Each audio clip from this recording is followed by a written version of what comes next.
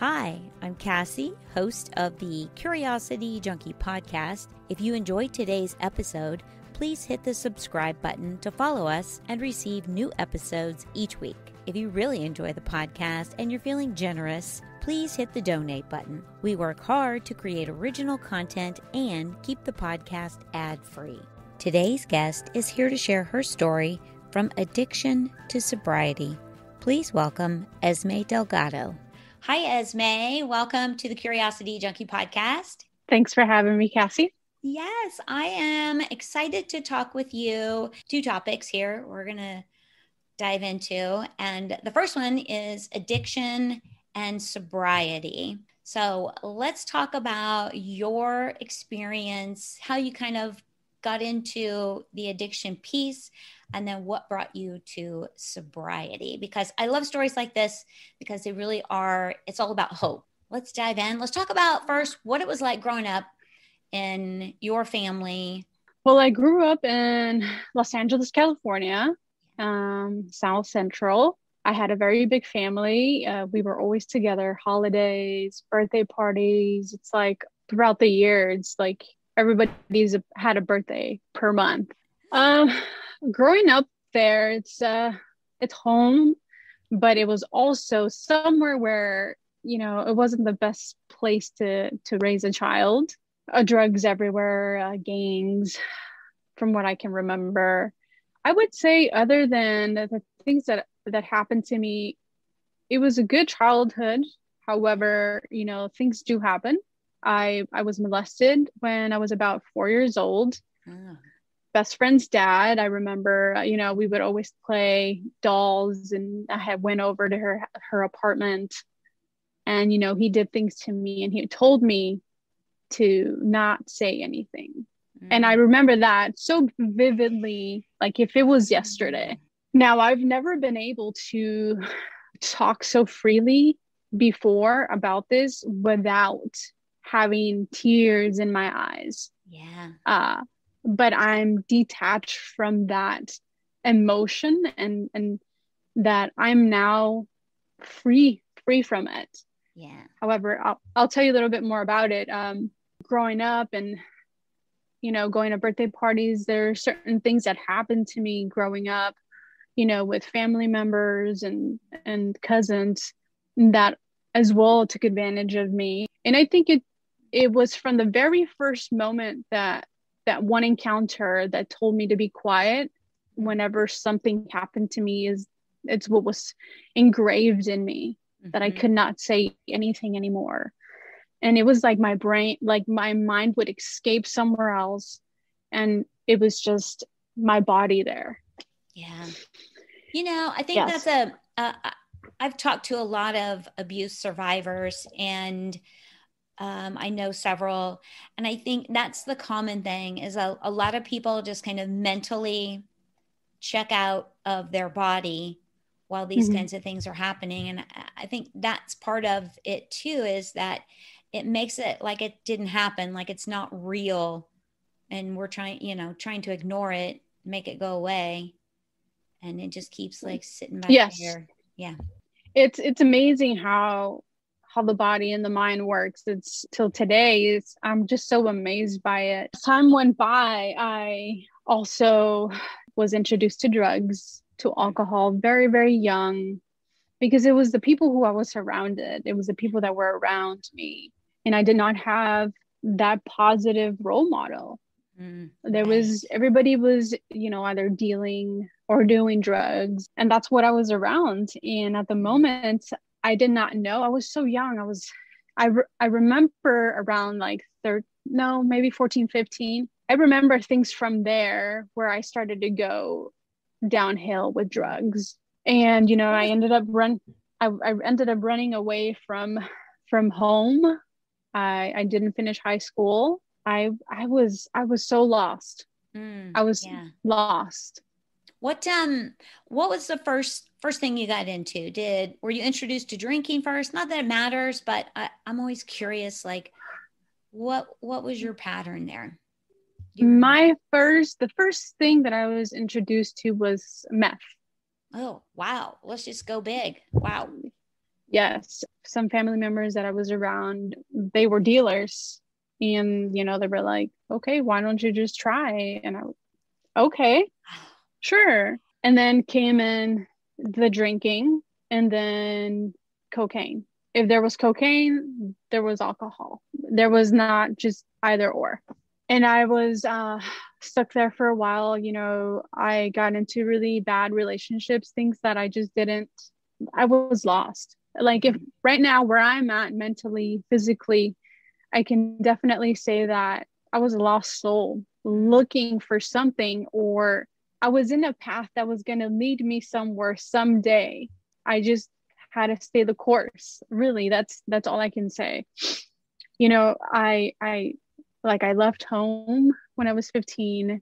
Wow, that's young. Yes. And I knew that I couldn't come back home till I was 18 because I know that I was going to be in the deepest trouble. It was a very hard time because after coming back, I knew that my siblings were, you know, they looked up to me because I took care of them mm. while mom and dad were at work. So I was like the big sister. But um little after I came back home, I ended up leaving Los Angeles and I came down to Phoenix. How old were you? I 18, I 19? was 18, 19, had family members out here and I I got into even deeper stuff. Mm. I was running around strip clubs. Uh, my goodness. And that's when I got even deeper in cocaine. I was maybe a good five years deep in alcohol and going out and you know when you're saying cocaine and, and alcohol is it one of those things where from the moment you get up in the morning you're getting high and drunk or is it one of those things where once you start it just goes into yeah, there's no stopping oh man. Going in this path and doing what i'm doing now because i i i believe i made it and i believe that this this deserves the truth. Uh yeah i was i was high at work.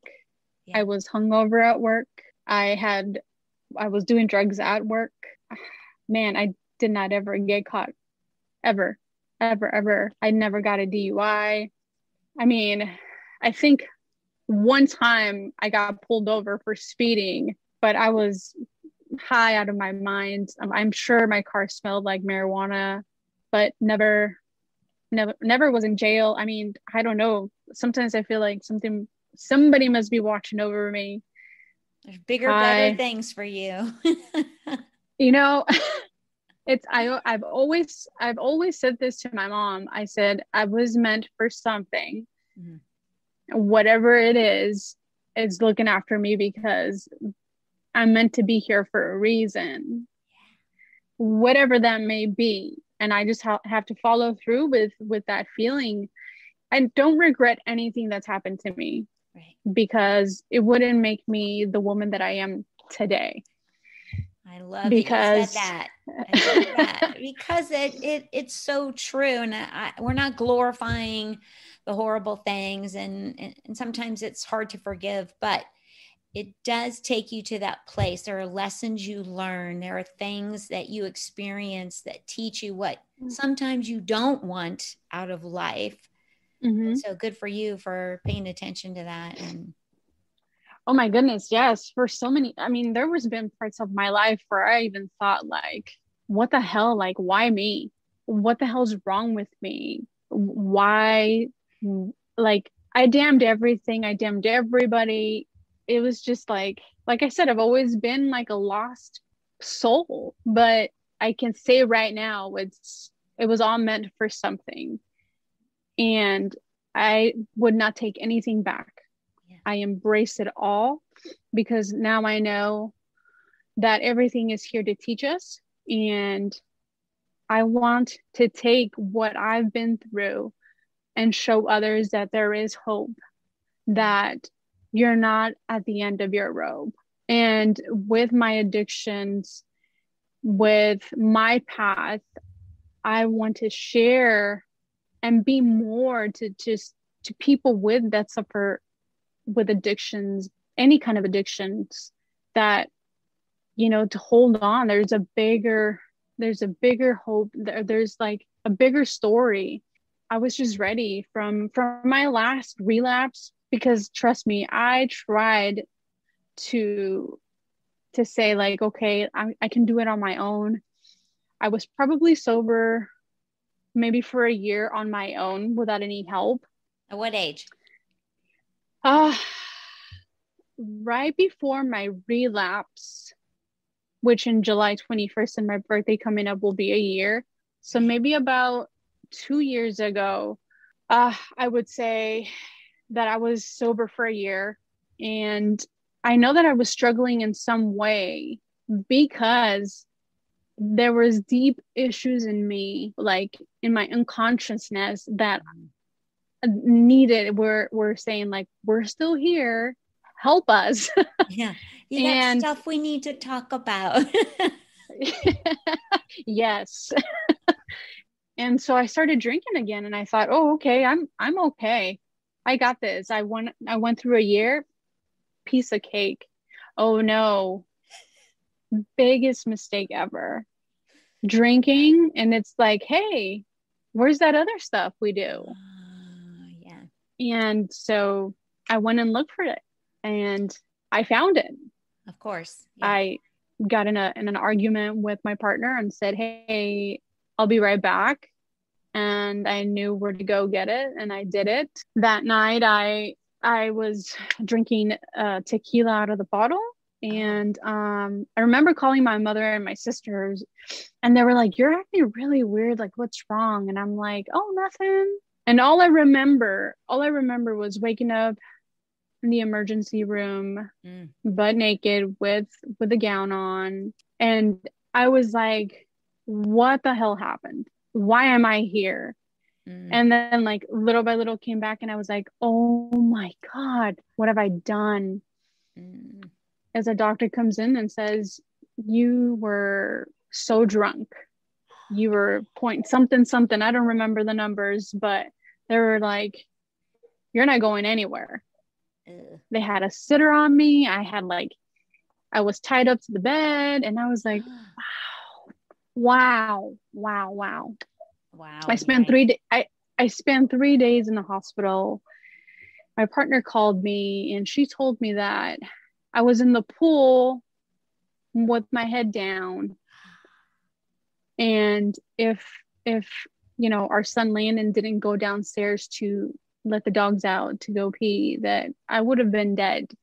Oh my gosh. I would have been and I was like, oh my God, like, mm, Mm-mm. Mm. I just I just said like, yeah, that's it. Please, I, I need help. yeah, I, I need help. Mm. Yeah, that was that was that was it. And I don't know what did it, what exactly did it, but inside of me, it's like something just turned around completely. And I, I just, I've never craved I've never, it's never crossed my mind where I'm like, oh, there's alcohol there. I'm going to go take a swig. Like, but that's what, what makes me like so passionate and so strong about like, if this happened to me, this can happen to, to anybody else that suffers with addiction. And it starts with, with the inside. There is no pill. You have to work with your baggage, yeah. what's inside of you and and until you do that you can't go anywhere yeah absolutely absolutely and I, uh, many times people who have addiction it's a rock bottom moment that makes them mm-hmm. realize I really don't want to die because that's what sometimes addiction is. It's numbing, right? To where mm-hmm. you just mm-hmm. want to check out. Mm-hmm. And then it's when you hit that rock bottom that you're like, oh, wait a minute. I really don't want to die. I kind of want to live. Mm-hmm. and so, how do I make that happen? I mean, it's, I mean, you go through through several challenges. You go through blaming everybody. Mm-hmm. I went so many years with blaming my mother for for things that didn't really matter. Yeah. I just wanted to blame something on somebody else because I didn't want to own up to it or I didn't want to take responsibility for it. Ah, that's a great and, word. I love that responsibility yeah oh absolutely and and then you go through oh my god like i'm such a piece of crap mm. i'm such a mm. piece of, of shit i went through all of those especially you know with my my last relapse i oh i felt so much guilt i felt like how can i how could i why did i mm. and that person that lived in me the addictive person in me was just somebody else oh, wow. it was it was a hurt it was a somebody that was in pain somebody that um that needed love god um somebody that um I think it's it's a big piece of, and I think this happens for a lot of childhood traumas. We didn't get what we needed in in those moments. We didn't get the parent that we needed to take care of us. And I, I love that you said responsibility because as we become adults, how do we then go, okay, but right now I'm responsible for me and the choices mm-hmm. I make. And what do I want that to look like? So, mm-hmm. kudos to you for oh thank you kind of coming to that because you know love is love is a hard thing and i look at when i when i watch you i always think you just kind of beam from the inside out. Mm. And to mm. me, I feel like that's somebody who knows, and probably because you've been through as much as you've been through, you know, maybe it's self worth. Like you know what you're worth, you know you're worthy of more, you know you deserve more. And mm. I, I see it in you. It does, it just kind of shines like I said, from mm-hmm. the inside out. I think it's beautiful. But I also know that that came with a lot of hurt, and I'm sure it probably still lives there. There's got to be some of that that still hangs out. Oh yeah, I mean, you know, I I live with addiction and and pain and blame and all those things inside of me for 34 years. Wow you know it's it's engraved in me so many things it's this whole year that working on my sobriety and working on myself and working on loving myself it's been like i'm i'm one i'm gonna be one year old again and i'm learning all these new things i love that and it takes a good family to be around and people that love you mm-hmm. to show you because I had such a hard time showing the love mm. and embracing the love because with my struggles that came with me. It came with you're not worthy. Mm-hmm. You're just a piece of crap. And you know, I did so many bad things with so many bad people and things that I should have never done. And that even held more guilt in me I've learned to embrace and say, I forgive myself and whatever I did. I am now here, and whatever I can do from now on is better myself. All I can do is just forgive because if I don't forgive myself, it'll just dwell in me and it'll take me to a big hole that I don't want to be. Right, right. And there's no need to be there because, and I think that's the beauty of it is that's a great lesson that you've learned is that forgiveness is huge and it starts with forgiving yourself it's not mm-hmm. about forgiving other people sometimes it really is just forgiving yourself for the things we've been through we've done yeah no i think that's a no yes a great place now i also know that you've done some pretty cool stuff mm-hmm. on your journey over this last year and yes. ways for you to kind of process. And uh, I think it's just been interesting. I've loved having all of the conversations we've had. So I was like, we can share this. um, I met some really cool people on my on my way to sobriety. Uh, like I said, I do not regret anything that I've ever done. Right. So I got to meet um, Dr. Dave um, who is at the source. he um, works with addictions and um, I met him because I decided to go to a naturopathic clinic, an outpatient center to help me with my sobriety. And I did a vision quest where we go out into the desert for four days uh, without eating. We pretty much just drink water and stay in the tent and and hope the coyotes don't get us. oh my god i love it like what an adventure i don't know that i would do that i think that's so wonderful and brave of you. What a great experience. You know it's part of getting to know myself is that i'm very brave. I've always pictured myself as, uh, as being a lion and i'm such a lion that i i want to be able to conquer anything and everything because i feel like i was in such a shell. Yeah. I was always in fear. I was I was afraid to do anything and I was just like I just want to go out there and do anything and everything because I can. Yeah. You're like I want to experience life now because when you think about it, if yes. you've been on some sort of drug or alcohol, those are all numb. They just kind of numb. They keep you in a dull state of mind you haven't really lived life for 30 some mm-hmm. years. So I mm-hmm. can totally understand how sobriety, you're clear minded and you can see, like, oh my gosh, I want to do, I want to do that. And I want to do that. Yes. Yes. yes. You know, for for many of my birthdays, I remember always wishing to to not be afraid.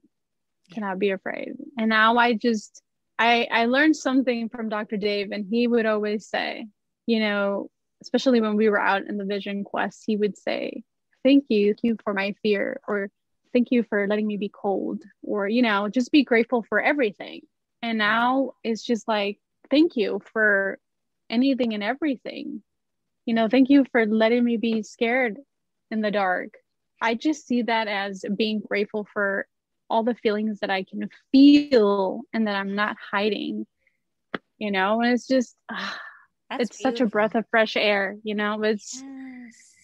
I'm happy I'm here and I'm beyond grateful like for all the people and especially my partner that stuck around me for this whole mess that ah if it wasn't for her like she really stuck around for me and many thank yous. yes, yes. I love that you said appreciating your feelings because I, I think that is one thing that we're kind of taught like our feelings don't matter or that you should you know you shouldn't have them you, you don't you don't want those things coming up and so we learn mm-hmm. to kind of push them down and ignore them. And i think what a beautiful way to look at it is that you're grateful for every single feeling that you have. None of them mm-hmm. are bad. They're just emotions and feelings mm-hmm. that have to come up and come out or they get stuck in there and they cause us to do stupid stuff so. Yes. Yes. It's it's been quite a journey. This has definitely brought me closer to the people that that love me and i've i have an amazing you know relationship with my mother now that before we were just we were never ever close and now it's it's it's so amazing Aww, I love that. Yes. So you have a, a birthday coming up. I do. What July twenty first. Yeah. What um are you planning anything for it? Because it's it's kind of a monumental birthday, and that it's the actual it year, is. right? That you'll be. Mm-hmm. I'll be one year old. That's right. I love that. I definitely want to do a sweat lodge to yeah. celebrate. And I'm planning to go out to California. My dad's birthday's on July 18th. I just want to spend it with them. They're my heart and soul. And what what better than to just be around beautiful people? Yes. Oh, I love that. Yes. So what would you say to somebody that's that's there? I work I work at a chiropractor clinic. Dr. G says something in the lines of those who are ready for wellness I believe right now the people that are ready are are will be willing to put all the effort to to do the hard work because it is hard work. It is challenging. It is a lot of tears, it's a lot of anger, it's a lot of uh everything. But after you do the hard work, man, you see that sun, you see that light, you you're reborn again. Yeah. There there is there is a way. There is the light and it'll all be okay and it's all worth it. You got to be just be willing to do it. Because yeah. nobody else can do it for you. No, they can't. And I, I agree. I do think they have to be ready. Um, it's not something that you can force someone to come clean because if they're really not ready, they're probably just going to go right back into that bad place again until they mm-hmm. until they are ready.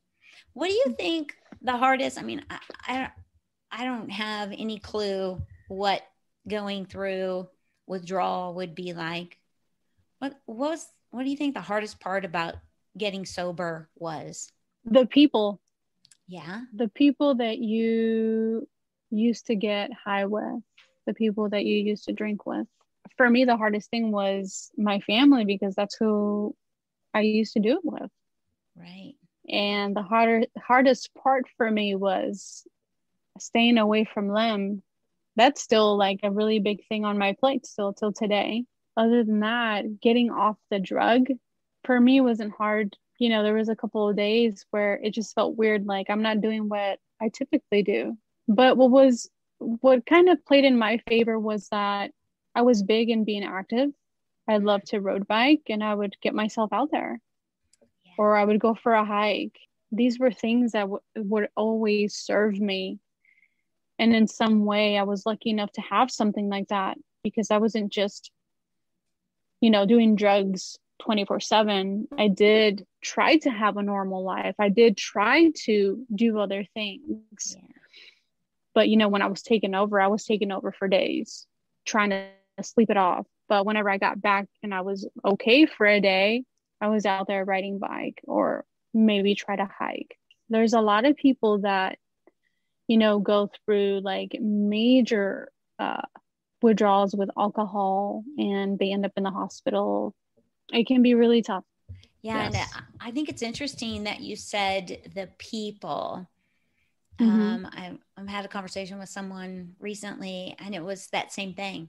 It was the people they missed more than the drug, mm-hmm. which meant if they were going to spend time with the people, they were probably going to go back to the drug. And I'm like, yes, so interesting. Yes. And that's even hard too. Boundaries. Ah, yeah.